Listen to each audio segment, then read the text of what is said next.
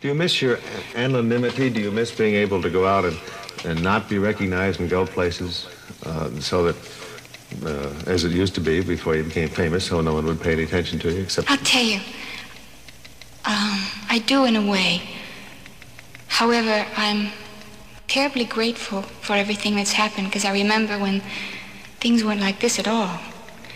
But you do miss sometimes just being able to be completely yourself and someplace and people just know you as another human being.